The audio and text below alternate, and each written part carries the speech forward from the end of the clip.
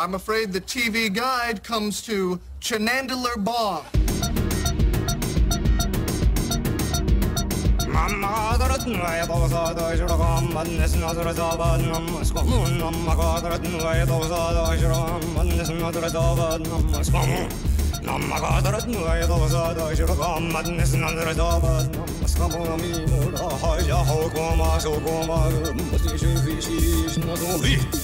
Hey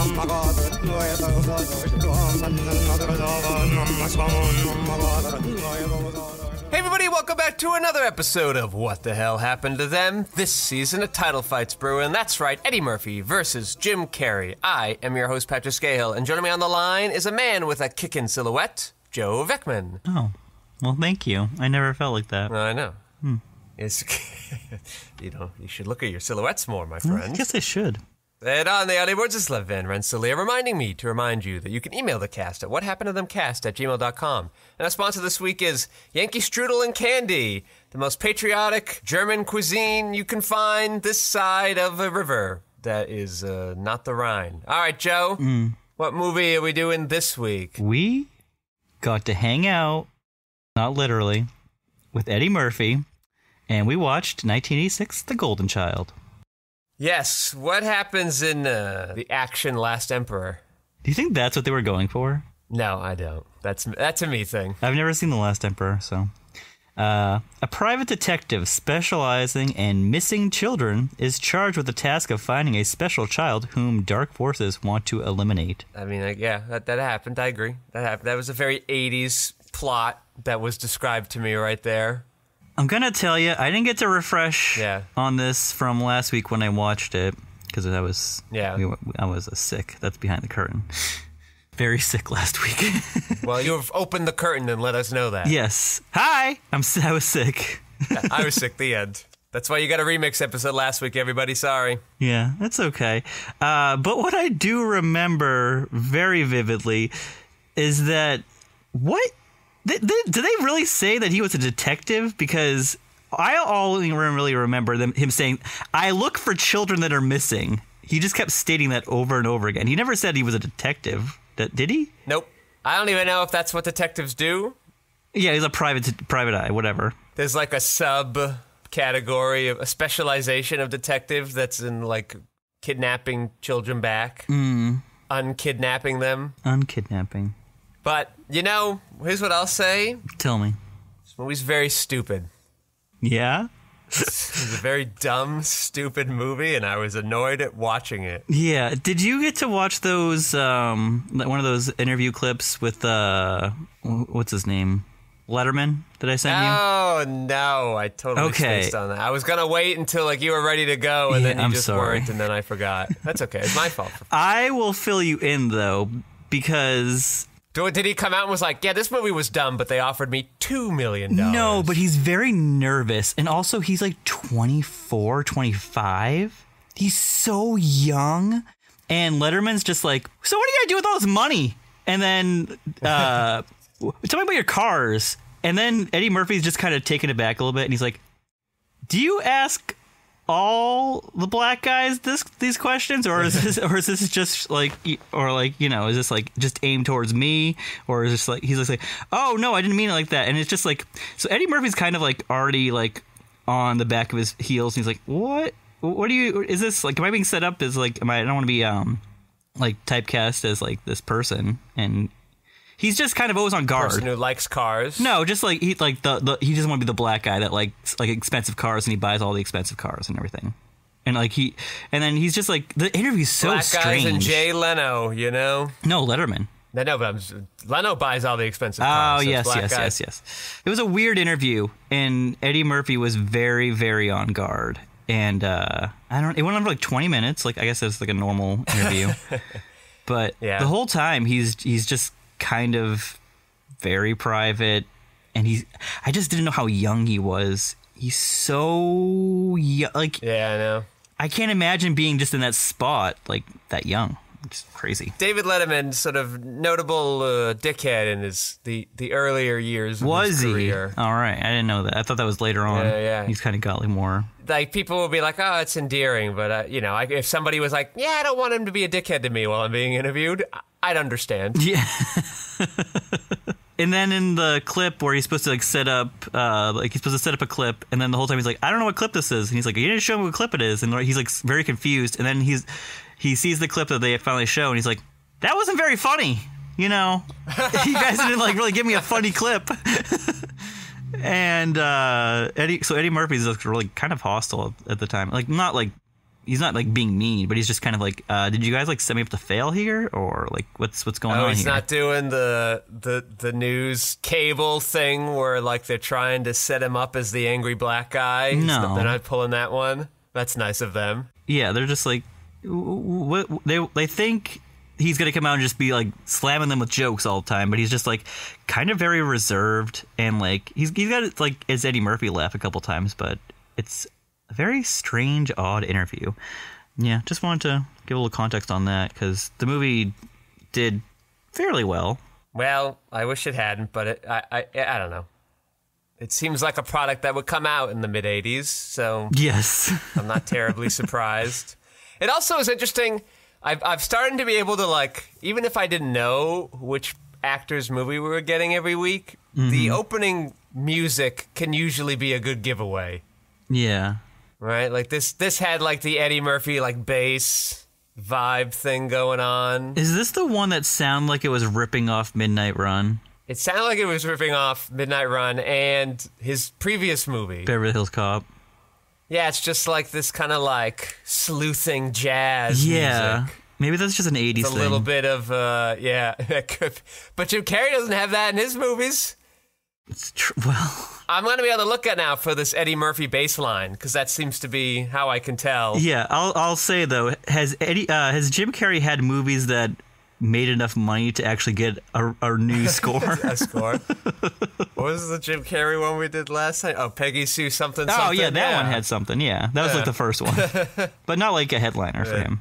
The uh, Once Bitten had some kooky music too, but it wasn't this Eddie Murphy bass line, this hip like.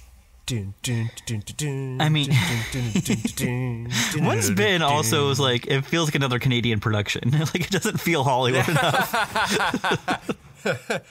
the film was intended as a serious adventure drama with Mel Gibson in the lead role. Oh baby! After Gibson turned down the film, Eddie Murphy replaced him. The script was rewritten as a partial comedy. Partial is the key word there. That's George Miller was Eddie Murphy's first choice for director. Wow, looks like Eddie Murphy's watching some movies then. Because how many how many George Miller movies were out there at this point? Just Mad Maxes, right? He hadn't made uh yeah he only had made the the three Mad Max movies because he hadn't made uh Witches of Eastwick yet because that was next year with Jack. Your favorite. yeah, that makes sense. It also explains the Mel Gibson connection. he turned it down because Murphy kept him waiting at a meeting for four hours. Wow, I would do the same. Can you imagine if George Miller made this though? That'd be weird. I'd like it. Might have been directed better though, at least. Yeah. Well, I think Michael Michael Ritchie's. Four hours? Yeah. You kept the dude waiting? What an asshole. Here I am feeling bad for you because Letterman's being a dickhead to you. You're being a dickhead to George Miller. Well, in fairness, uh, t- this is like about a year probably before that whole Letterman interview. Preempted dickery from Eddie Murphy. Uh, in an interview for Fangoria number 113, Charles Dance explained how movie how the movie was drastically changed by Paramount after the first test screening. Oh, I can't wait to hear this. Uh, initially, The Golden Child was a very interesting script with a lot of resonances, but Paramount uh, basically chickened out. When they first screened it, it was a very different sort of film for Eddie Murphy. Paramount took too much notice of the preview audience's unease about the unfamiliarity of Eddie's character. They had gotten to know him so well through Beverly Hills Cop that they wanted the character to be much more like that. So the studio went back and reshot a lot of the footage of Eddie doing Eddie Murphyisms and put them into the picture. They took out a really sumptuous, weird, and beautiful score by John Williams and replaced it with something more funky. So basically, when you what you got was Beverly Hills Cop in Tibet. That was a good quote by Charles Dance. Beverly Hills Cop in You Tibet. know what? I really, I did think that. I'm like, oh, I guess Eddie Murphy somehow got stuck in this role for a while, but it looks like they just wanted him in the role. yeah, They just said, I, uh, this guy was in the biggest movie a year ago. yeah, and they're like, well, why don't we just do that again? Again, yeah. We got him. Let's just do it. it again. Let's just do it again. I don't under like. You're right. And then next year there'll be the sequel. Like he's he's done he's done this role three times now, It's crazy. back to back. What the fuck? the assholes. The first Eddie Murphy movie to get rated PG 13 from an absence of F words typical in Murphy's 80s and early 90s movies. John Carpenter was offered the job as director. He later went on to direct the similar film Big Trouble in Little China the same year. Same year. Similar feels strong. Does it feel strong to you? I'm, I'm reading an editorial of it. Not my, not my words. I didn't think they were your words, but as that as we comment on those words, Mm-hmm. do you think the two movies are similar? uh, not at all. Okay. as long as we're on the same page here. yeah. That I'm not missing something in No. either movie. Very different movies. Because I believe Kurt Russell's set up to be like a big buffoon, not like the action hero. And Eddie Murphy's supposed to Yeah, be Yeah, but Eddie Murphy's not set hero. up to be an action hero. That's why he's the guy looking for missing kids. He's supposed to save the day, though.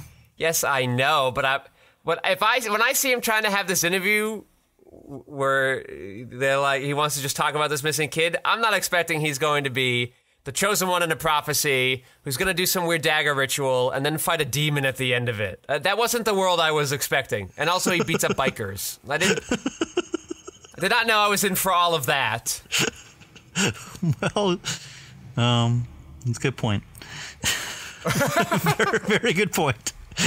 You know, in the beginning of uh, Beverly Hills Cop, he's he's doing action stuff from the very beginning. I say, okay. Yeah, he's, like, a flying off the I say, truck. okay. That's fun. Yeah. That's good. That's a good way to Private introduce eyes it. do not do action things. They're not. This isn't. I don't know where that info thought came out there. That's they're just like hidey people. They're like good at hiding and looking and spying and going through your trash. Yeah, he's gonna. He's supposed to be looking for the clues. Yeah, he's supposed to tell your girlfriend if if you're if you're cheating on her, if you're just going to dinner to have KFC and go see a movie by yourself. Exactly.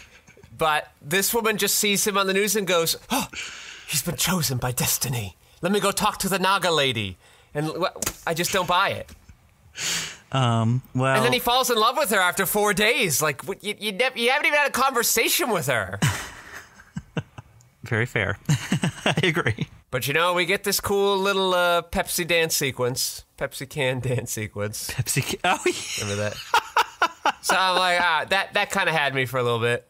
that was like, yeah, yeah. That kind of me. And then it's like it's like ah, look, it's Pepsin on the Ritz, and then the other guy, the the the crunk guy from Goonies, is like, oh yeah, here's a. And then he turn, you know, and then he's on your side later, Do you mean chunk? chunk.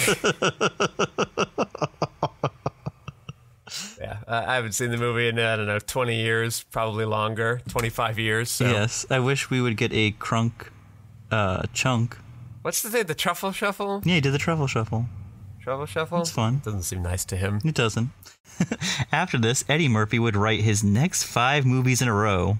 His own movies? His own movies. Smart plan. Very smart. I did notice he had his own production company here, or loan out Company, whatever tax thing it's meant to be doing. Really? What's it called? Do you know? Did you catch I it? I don't know. I just, no, it was a week ago, but I saw oh, he's got a production company now. Took him four movies, five movies. Good work. I know. He's already got it. He's just like Sandler. You know how I know the role wasn't originally written for Eddie Murphy? Because his character's name was Chandler. no one thought to change that one around when they were doing all the other rewrites. Is his huh? really Chandler? oh yeah. Chandler. And they, like they kept calling him some like funky name. They they they kept messing up his name in it. I remember that. That was like a bit they were doing. Yeah, if there's something that kills a plot erection faster in a movie, it's uh, it's uh, prophecies. Prophecies are just the worst thing to happen to your movie. Because the problem is, even if something goes wrong, it could all be part of the prophecy. You don't know. That's the beauty of the prophecy. It's whatever it needs to be whenever your plot needs it to be. Um, You know, there it is. the magic rules are all kind of generic. I don't know how anyone's doing magic or why, but they do it. A teaser trailer was released in the summer of 1986 featuring no footage from the film, consisting of Eddie Murphy riding a yak through a blizzard complaining, If I'm the chosen one, how come I'm, I'm freezing while you're sitting in a warm movie theater? Chosen one, my behind. Why couldn't someone choose me to go to the Bahamas? To jokes that were to get home by five. I get it. I also, if I'm in a movie theater and uh, I get shown a movie trailer that is refuses to show any clips from the movies, I think, well, you just clearly not a good movie. Well, we didn't know that yet because we hadn't seen the movie yet. If the studios are so terrified of showing me clips from the movie, yeah. you must think that they're bad clips. If you cannot find a minute's worth of trailer footage, It gets better. Uh, Vilmos Zsigmond did the cinematography for the teaser, which remains unreleased officially on home video, even missing from the 2020 Paramount Presents Blu ray. Oh, but was finally made available on YouTube in 2021 via amateur film scanner Denise Carl Robidow. Well, I said your name right. you're doing the Lord's work, just like Media Junkie Josh doing for the Drew Carey Show. And then my last little piece of uh, trivia for you is that Charlotte Lewis was only 18 when she filmed this movie, which Eddie Murphy also calls out in that Letterman interview that she was 18. Very young. These kids are young. And he's like, Yeah, I felt really creepy about crushing on her. I get, yeah. I mean, he's pretty young himself. It's not. It's not like totally out of the I realm. know he's young too, but there's some eight. I don't know. I know, Eight- I 18 agree. and 24. You're in such very different spots in your yeah, life. very, very. it's- Like yeah. she's 18, she's legally an adult. I would not call her an adult. yeah. If I'm trying to like remember just her character. It's, I would not have guessed she was 18. She it, it did not appear that way. yeah, in her she she acts more like like adult like, but because Yeah. but yeah, she's very very young. If you had said if you had said she and Eddie Murphy were both in like their late 20s, I'd buy it. Yeah. the budget on this is is a little absurd. Uh, it ranges from 12 to 24 and a half million. We don't know how much the dumb stupid skeleton costs, so Yes. you know. Is that a reason why it would range like that? It's, it's either 12 or double the budget. Maybe they're like, it was going to be $12 million, and then we had to do a bunch of reshoots and make a trailer. yes. So it went whoop right up there. it made domestically 79 million and worldwide 149. It's probably good you pivoted away from the action stuff because the action stuff you did was really bad. Like when he's got to do his like test to go get this dagger. Mm-hmm. He seemed to figure that out in five seconds pretty easily, and then you have like this big climax, and then it was over. And I went, oh, okay, well, I guess we're done. We have this Tibetan. I don't know, like yeah, whatever. I don't care. It was all stupid. Like I, I could pick apart the little stupid shit, but ultimately it was all stupid anyway. So like, why am I bothering to split hairs on the stupid sandwich? So, I don't know if you remember this because this was two weeks ago now. The story that we The were story about. Mike Ritchie's last movie you wanted to talk Oh about? Oh, yes, okay, good. you do remember. I've got the note right here. I was ready to go. so he made a a great wealth of movies throughout the. Uh, he started in '69 and he went to 1997. 1997 was his last movie. Do you know what his last movie was? Can I tell you what his last movie was? Yes, that's why I thought we were doing the whole thing. Yes, his last movie was uh, a little tiny movie that I saw on the Disney Channel back in the 90s called A Simple Wish, starring Martin Short, Mara Wilson, and Kathleen Turner. Yeah. What's in that? What happens in that movie? Mara Wilson is trying to. Uh, I think she wants her dad to get this acting role. Yeah, her dad's an aspiring actor, and sh he wants her to.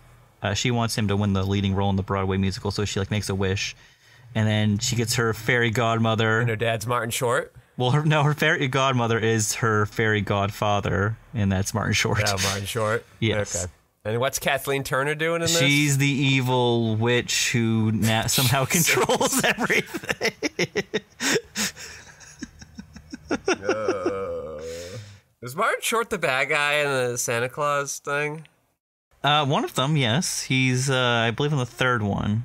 He is Jack Fla- Frost. Jack Frost. Yes, He's had a weird career. he has.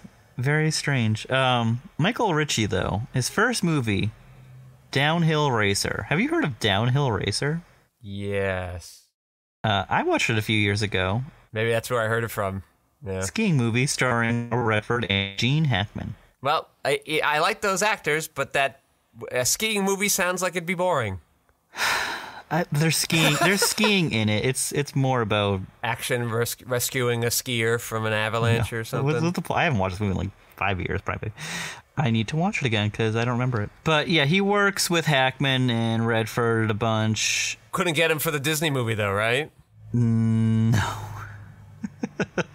I don't think I don't think Hackman's signing up for any Disney movies in the '90s. he's he signed up for one Ray Romano movie, and he's like, "I'm out. Bye, That Hollywood." wasn't in the '90s. Pretty close. But Michael Ritchie did the Bad News Bears. He does the Fletch movies. You know him. Cops and Robbersons. Come on. he's he's, Well- he's Chevy's guy for a while. yes, it sounds like it.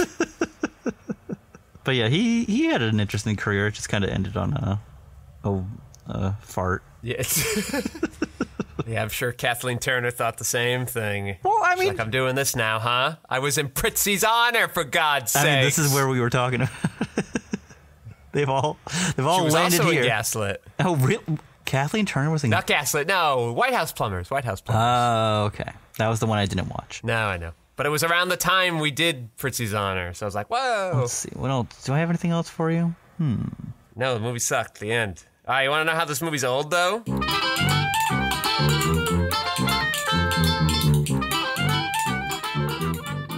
It's not a great one this time, but Okay. just a couple. The Pepsi cans are red and white. Haven't seen that in a long time. Oh, yeah, 'cause time. they're blue. Remember those days? Yeah. And now it's like blue, but it used to be like mostly white with like a red stripe and a blue like yin yang symbol. We got uh, large daggers can be easily brought onto a plane. Couldn't do that now. that would be much harder to do. He he made it work. Pre- they didn't obviously want him to take it onto the plane, but he snuck it in pretty easily. Maybe if it retracts. Yeah. In-flight headphones are giant stethoscopes. Glad we don't have to deal with that anymore. Oh yeah. They're just like, bring your own shit. We don't want you to. What this? Like, it's like plugged into like your thing above you.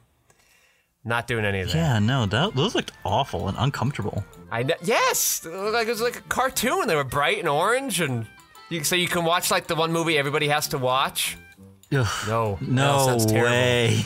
that sounds miserable. you better be starting at the same Yeah. time.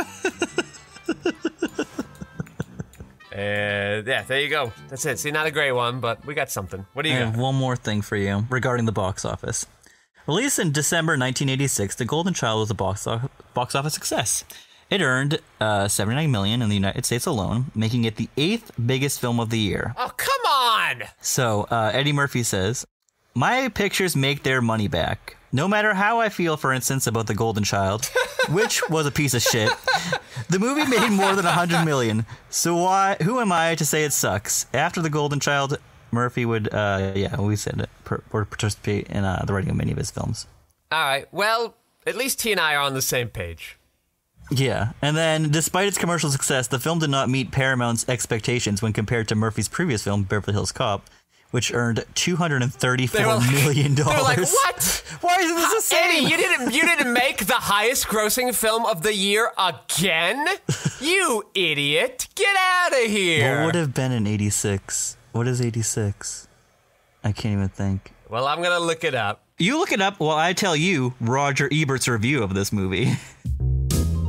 Roger, Roger, Roger. Roger, Roger, Roger, Roger. R O G E R. R O G E R. Perfect. Roger Ebert of the Chicago Sun-Times gave the film three out of four ah, stars Come on. Eddie doesn't even like it. Roger. and stated, "The Golden Child may not be the Eddie Murphy movie we were waiting for, but it will do." Well, are you sure? Because they worked really hard to make it that.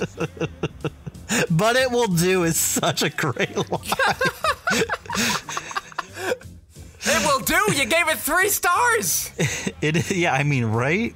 He's, he's giving it like a very high grade on this. Uh, it is funnier, more assured, and more tailored to Murphy than Beverly Hills Cop. Roger doesn't know comedies. uh, and it shows a side of his comic persona that I don't think has been much appreciated his essential underlying sweetness. Murphy's comedy is not based on hurt and aggression, but on affection and understanding that comes from seeing right through the other characters. But what about Leonard Maltin? You like Leonard Maltin? I He's okay. yes, I know. That's, that's, that's don't be mean to him. Uh, what? What? He well, you agree with him more. He gave it a bomb, his lowest possible rating. Hey, hey. A top candidate for the worst mega hit of all time. Charlotte Lewis gives a wooden performance even for an ex model. Entire reels go by with a hardly a chuckle, a box office smash. but have you ever met anyone who says they liked it? Jesus. Uh, Janet Maslin of the Janet Maslin of the New York Times uh, seemed to agree, describing the picture as a comedy without laughs. That's what was mean. I like that the movie is so. That's how you know this movie's old because he's commenting on the amount of reels that the movie has. that they're switching out the reels of film during the projection. You like that one? All right, that's good. I'm into that one. All right, The Golden Child. Did we like it? Not really. Hold on. Do you want to hear what the highest grossing film is? Tell me. I- I'm going to say two words to you, and you are going to instantly know what it is. Are you ready? Uh huh. Ready for these two words, Joe? Okay, 80. I just. Danger Zone. Oh, Top Gun. Top Gun. It's Top Gun? 80. Top yeah, Gun, that makes the highest sense. grossing film of that year. Okay. Followed by. Give me the top five. I'm gonna say two more words to you. I'm Okay. gonna say two more words to you. You tell me what. Down Under. Oh, God. Crocodile Dundee? You got it. Oh, God. Wow, that's crazy. Number two, Number Paul two. Hogan. Crocodile Dundee. Paul Hogan and a bunch of people I've never heard of. That's that's great. Good for him. All right, the uh, Karate Kid Part Two. Wow. Ralph Macchio. All right, number four. So back to school with Rodney Dangerfield. Wow. Good for him. Look at these comedies up there. All right. And number five, Hmm. also a sequel. Aliens. Oh, that's excellent. Good. Good for that one. Yes. Right right underneath it, uh, the color purple at number six, which we saw. What? What? th- wow. Wow. Wow. Now, this is just the calendar gross, Mm-hmm. which I don't know how it's different from the in year release. When you go by calendar gross, Golden Child is not on here. Interesting. Oh, maybe it's it ends. So that movie came out in December, and then once December ends, that's the end of that calendar year. For so calendar gross. It could be because so here's what the top handful are for in-year release: Top Gun, Crocodile Dundee, mm-hmm. both distributed by Paramount. Mm-hmm. Platoon, oh, Karate Kid Part Two, Up, no down, right down. down. Yeah, from three to 4 mm-hmm. Yeah, because Platoon sneaks in the middle there. Then Star Trek Four bumps up from seven to five. Huh. Then Back to School. Then Aliens. Hmm. then The Golden Child. Huh. Then whatever Ruthless People is, and then Ferris Ruthless Bueller's People. That's a Norman Jewison movie starring Dan Day. Yeah, you were ready to go on that. DeVito, Judge Reinhold. Hey, Judge Reinhold getting some work skin. Am I cor- hold on, I'm not wrong about that, am I? Hold on. I think I just, Bette Midler, Bill Pullman. No. I'm thinking of a different. You know what? What is? Hold on. There's another Oh, ruthless. here, here, here are the directors: Jim Abraham, Jim Abrahams, David Zucker, and Jerry yeah, Zucker. hold on, hold on. I'm thinking of something else. What am I thinking of though? With Danny DeVito. Oh, this is gonna drive me crazy now. Oh no. Okay, I'm wrong. Sorry. Yeah, you just made it up. That's fine. I didn't make it up. I just got it wrong. Yeah, yeah, you're a big liar, and you're wantonly deceiving the audience. I got you. I didn't mean to. You're gonna be indicted for fraud. That's fine. Fuck. How did it come to this? It's a slippery slope, Joe. I fell down the mountain. well, I'm done talking about this movie. I didn't like it very much, and I was annoyed at having to watch it. Yeah. I think I was just confusing that that Danny DeVito's in it. Yes, he is in it. That's it. That's all I got right. Okay. Yeah, the movie sucked. I didn't like it. It was boring. Movie sucked. It's a really bad Eddie Murphy movie. Yeah. Really bad. They said they added Murphyisms into it. I say I didn't feel Eddie Murphy was in it at all. He had some, and like the there were quieter moments where you would. It's it felt like he was just kind of riffing, Yeah. which I could buy based on the development strategy of the movie. They're like, oh shit, uh, yeah, just Eddie, figure it out as you go. He's like, oh, well, whew." so I think, yep, the the Paramount was an idiot in trying to salvage. I don't know if the script was any good before it was going to be Eddie Murphy, like that one person said, but you certainly didn't make it better. Nope. And you then you got grumpy that it didn't. Your movie's a box office hit and it's not big enough. You are such jerks. I know, What number an 80s eight. thought. You're number eight in the whole fucking year, and you're like, meh. Should have been number one. Well, maybe you should have made a good movie. Then maybe it would have done better. Maybe be grateful that your shitty movie made a lot more than whatever the stupid tank movie he was in was called. Exactly. Right? Because that's usually what happens when you make a shitty fucking Eddie Murphy movie. You get that. Let me tell you, made more than Peggy Sue got married. Same year. Yeah, man, wow. I'm, I'm sort of bad movies all around this year. Peggy got not even in the top 10 of whatever version of the thing you wanted. know. We had to watch a Nichols movie, right? Aha! Heartburn. Not that's not in the top ten. Not in the top 10. We didn't. I'm just going through like 86 movies we That covered. stupid itsy bitsy spider song movie. Oh yeah. What's that one? That was that movie. That was that one. Oh okay. The itsy bitsy spider went up the water spout. That was that movie. All right. Last looks. Yeah, give me give me your last looks. I'm I'm getting out of here. Wow. I'm, d- I'm done. I'm done with the golden child. You were very upset about this one. Uh, last looks. Let's say that uh, Eddie maybe stay away from the fantasy genre for a while. And it, I think it's a great idea that you are going to be writing your own movies. Good for you. if you have that power, go for it. Do it. I, that's a great idea. What's your last looks, Pat? My last looks. Why is Eddie Murphy in this movie? Well, I don't know. The the last time he made a shitty movie was easy. They offered him a crap load of money for not a lot of work. And then he sh- shat all over it on SNL. And he shat all over, it, which is fine because it was shitty. This one, I guess it's still a lead role, right? He hasn't gotten many lead roles yet. Not yet, really. This is his second lead role. Yes, where he's headlining the movie. When did Beverly Hills Cop was, was that 84? 84. And this is his next movie. Well, I get, he knew that was a big hit, so but it's the it's the second it's the very first one you take after it. Mm-hmm. I don't know. They're gonna change the script for you, and then I guess they didn't do it enough. Hmm. Yeah, I don't know. I think it's just to, to keep keep rolling on the star train, right? Take the roles, I guess. Maybe I don't know what else was coming to you at that time. Hmm. Man, what this movie was so stupid. oh God, I didn't enjoy it. so dumb. All right, well, I'm over it. All right, what was it? Yankee, Yankee strudel and candy. Go, go get there. I guess we're not mad at them anymore, so it's fine. You don't need to settle for your your freedom candy anymore. It's okay. It's all good. now. wow. They have a good economy. Uh, I'd like to thank Lev Van Rensselaer for minding those audio boards and keeping the sound so slippery smooth. I'd like to thank Joe Vekeman for stopping by. No, thank you for having me. And I am your host, Patrick Skeyhill. You can find my features, documentary, short films, video essays, animations, behind the scenes footage, and so much more at quixoticunited.com and social media, presumably with a similar sounding name. Thank you all for listening. Joe, say goodnight. Good night.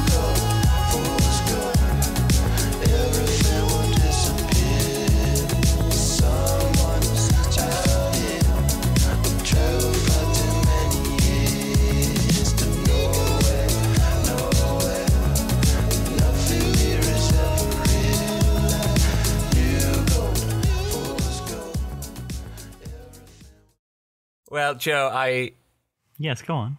I, I see what you uh, were talking about with Abigail.